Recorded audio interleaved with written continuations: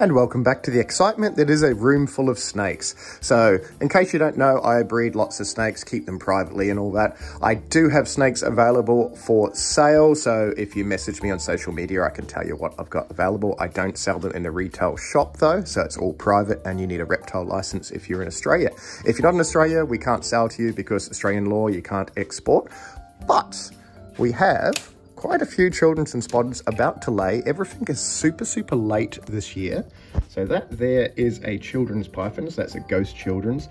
Ghost children's means that it just makes noises at night. Ooh. Well, it doesn't really. It just means it's got like a pale color to it. Occasionally, it's just a children's python, but yes, she is underneath her aspen bedding and she's about to lay eggs. So probably about a week or so to go. So usually everything has laid eggs and hatched by now. It takes them about 60 days or so to hatch, so 50, 60 days depending on the temperature. All these are very, very late. So not every single one of these has a female python that's about to lay in them. I'm not breeding hundreds of snakes again. I think there's like about 11 or so. But that girl there, she is very close. I think we have a Stimson's python. So this is a wheat-belt Stimpson from Western Australia and she is coiled in her log, but she is due to lay in the next week or so as well. As it, everything is very, very late. We are going to jump to another one that has just laid in a second, but I think this Stimson's python here is looking really, really awkward. She is probably just laying today. So when they coil and weird sort of things like that, I think that's a Normington stimmy yeah, she's going through the whole laying thing. So I'm not going to disturb her by taking the little log up or anything like that. Oh, is that her head? Is that her head? Oh, there she is. There she is. Who is a pretty girl? She's a pretty girl. She's a pretty girl. She knows it. She is about to lay. But what we will do is jump to one that's already got eggs, show you how we incubate them, and go from there.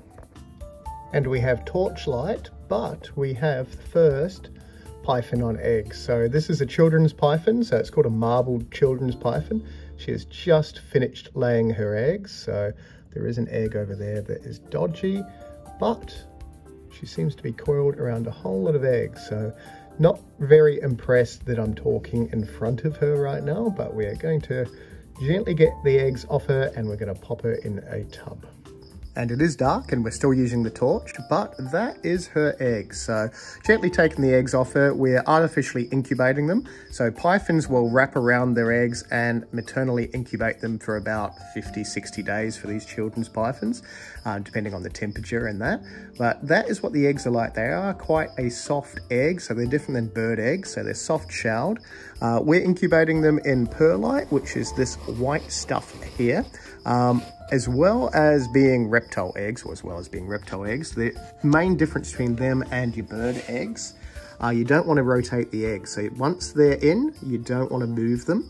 Uh, the little embryo, there's like a little air pocket that attaches to the top of the egg. So if the eggs turn over, they can actually suffocate and kill the egg.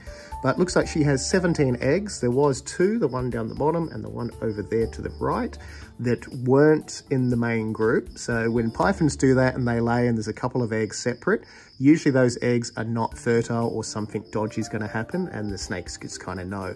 So we're just going to leave them separate. So there is a little gap there, if you can see. And yeah, if they go bad, we can just remove them. But otherwise, they're going in the incubator and we've got about 50, 55 days before they hatch. And then we have some little children's pythons. Hurrah!